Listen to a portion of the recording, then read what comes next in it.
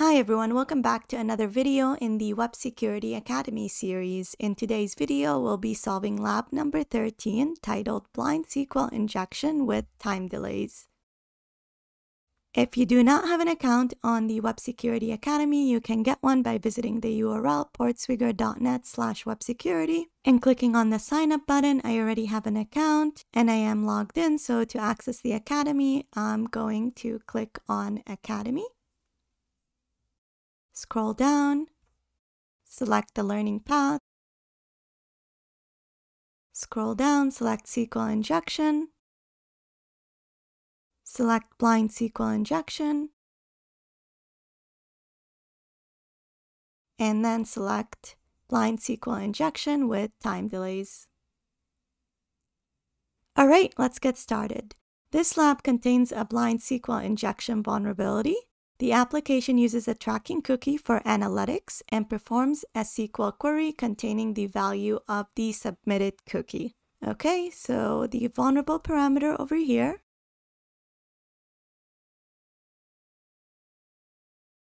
is the tracking cookie. Okay, so the results of the SQL query are not returned and the application does not respond any differently based on whether the query returns any rows or causes an error.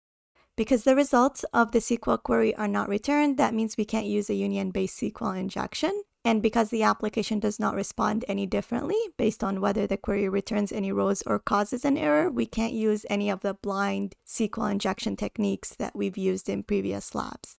Next, the exercise says, however, since the query is executed synchronously, it is possible to trigger conditional time delays to infer information. To solve the lab, exploit the SQL injection vulnerability to cause a 10 second delay. Okay, so we could use time-based SQL injection in order to exploit the SQL injection vulnerability. So we've got one end goal over here. And the end goal is to prove that the field is vulnerable to blind-based SQL injection. And it's time-based. All right, let's access the lab. And this might take some time. So we'll create our analysis section. We'll also open up Burp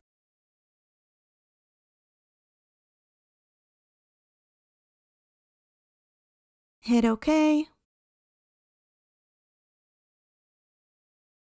Close that, select next, start burp.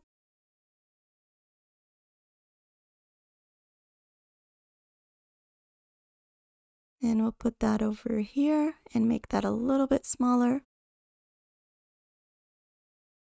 And then we'll set Foxy proxy to send requests to burp. So now when we hit home, it should be intercepted by burp, which we can see over here. So let's send that to repeater and turn intercept to off and go back to repeater and move that over here. Okay, so our vulnerable parameter is the tracking ID over here. So we need to inject SQL code that causes a 10 second delay. And if we're able to cause that 10 second delay, that means this is vulnerable to a time-based blind SQL injection. Now to do that, we're going to go back to the exercise and look at the hints section. Open up the cheat sheet and go down to the time-based queries. So over here, time delays. You can cause a time delay in the database when the query is processed. The following will cause an unconditional time delay of 10 seconds. So the reason we're looking at the cheat sheet is because we don't know which database we're dealing with. So what we're going to do is we're going to fuzz the application with all the different payloads and see which one it responds to. And then depending on the one it responds to, that means we're dealing with that database. So let's start off with the end by first trying out a MySQL database. So we'll put that over here. Now, in order to properly exploit this, we can't simply add this to the tracking ID. Instead, we'll have to add a single quote, which closes the single quote that this string was in. And then we'll add the concatenate clause to concatenate this query over here. And we'll add curly braces to the query. So let's see if this works.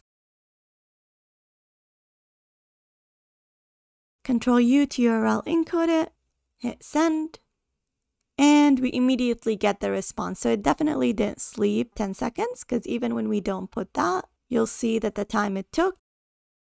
So I removed a little bit too much. So control U to URL encode it. Let's just test this again. Here we go. So it takes 136 milliseconds. And then when we remove it, hit send, it takes 131 milliseconds. So it definitely didn't take 10 seconds, eh, which means that it didn't interpret this as SQL code, which means that it's likely either that we used the incorrect syntax or this is not the database that we're dealing with. So I'll just put an X sign beside this one. So maybe it's not a MySQL database. Let's try a different database. So let's try PostgreSQL next. And again, we got to format it correctly so that it doesn't break the backend query. Let's copy that, put it into Burp, Control U to URL encode it, hit send, and it looks like it still doesn't sleep 10 seconds. However, I'm noticing right now that we did something incorrectly over here. So what's happening is that the query is likely something similar to this. So select tracking ID from tracking table where tracking ID is equal to this tracking ID over here. So in order to properly inject our SQL payload into this, what we're doing is we're closing off the single quote over here.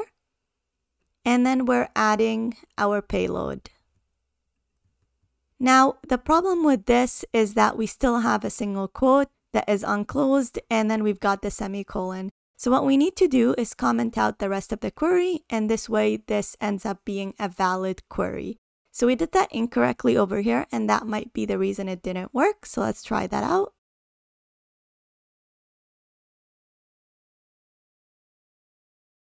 So control U to URL encode it, hit send, and we get the request almost immediately. And so this is still an X, it's not a MySQL database. Now let's try with PostgreSQL.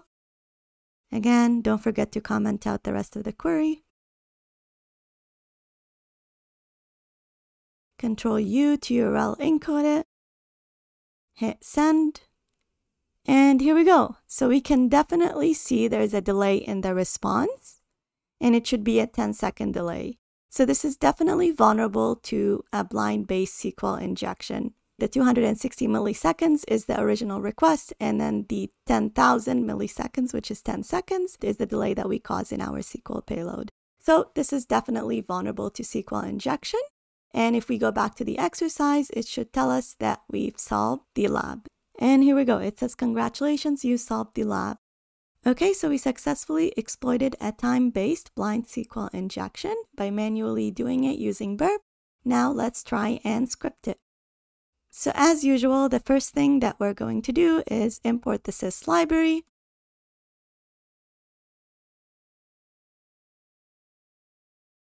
Next, we'll import requests, URL lib3, and URL lib because we'll use those in our script. And then we need to call the main method.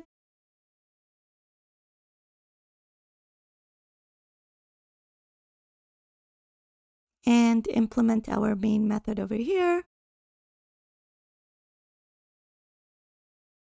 So the way I want my script to run is I'm going to say script .py, so the name of the script, and then I give it the URL. And then what it's going to do is it's going to try and inject a 10 second delay, and then it'll check the response time. If the response time is bigger than 10 seconds, then we've successfully exploited the SQL injection. If the response time is less than 10 seconds, that means we failed to exploit the SQL injection.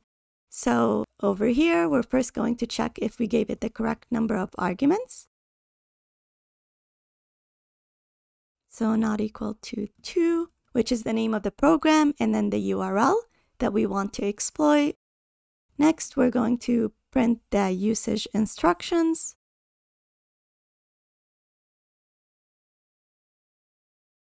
So sys.argv 0, which is the name of the program. Next, we'll print an example of the usage instructions.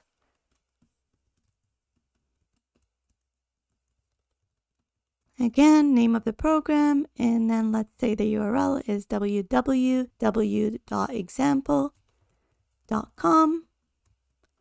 And again, name of the program. Okay, next, because we ran the program incorrectly, we're going to exit it. All right, so that's if you ran the program incorrectly. If you did run it correctly, I want to save the URL in the parameter called URL. So that would be the first argument that you give to the program. And then I want to print checking if tracking cookie is vulnerable to time-based blind SQL injection And then I'm going to call a function called blind SQLI check URL. And what this function does is it tries to exploit the time-based blind SQL injection. And if it's successful, it'll report that the exploitation was successful. If it's not successful, it'll exploit that the exploitation was not successful. So let's implement that function. Again, it takes in the URL We'll first set our SQL payload parameter. So that would be the one over here. Let's copy that, put it in here. Next, we need to URL encode it. So let's say SQL payload encoded is equal to URL lib dot parse dot quote and then the SQLI payload. Okay, that looks good. And I don't know why it added that. We don't actually need it. Here we go. Okay, then let's set the cookies for the request. So we can get those from the burp request so you could see that over here, we've got two cookies, the tracking ID, which is this one over here. Let's copy that.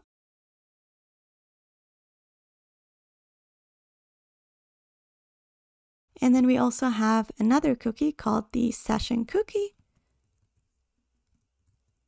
And it's this one over here.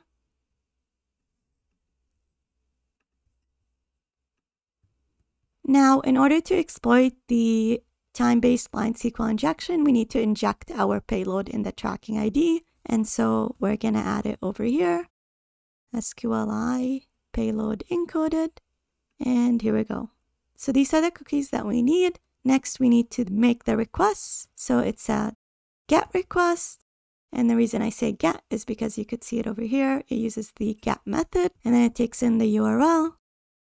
Cookies to be equal to cookies verify to be equal to false because we don't want to verify certificates and proxies to be equal to proxies. And that's something I forgot to do at the beginning. So I always configure my scripts to go through burp just in case I need to debug my script. And I forgot to add that over here. So let's say proxies is equal to HTTP,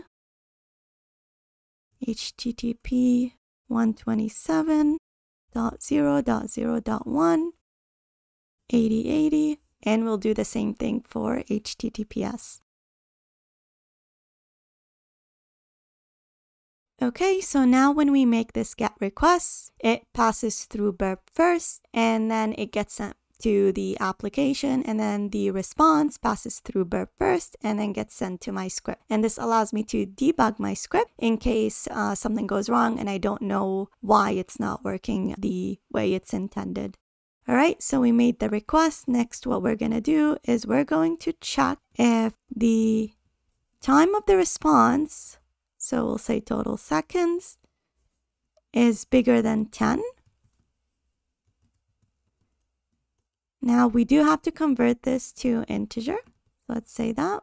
So if the response time is bigger than 10 seconds, then I want to print that it's vulnerable to blind based SQL injection. However, if the response time is less than 10 seconds, then I want to print not vulnerable to blind based SQL injection. Okay. So this is a relatively simple script because all the exercise asks us to do is to prove that it's vulnerable or to prove that it's not vulnerable. We don't actually have to extract any information from the database, which is something that we'll do in the next lab. So our script is relatively simple. So let's save that. Okay, so before we run it, we very likely timed out of this session. So let's test that out over here. and it is taking time, which means that it did time out. So I'm going to close it, make sure that burp proxy is turned off, it is, and just open up a new instance of the lab.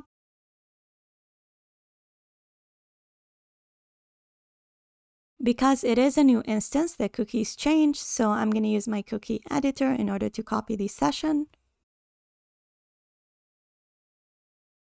I'll also use it to copy the tracking ID.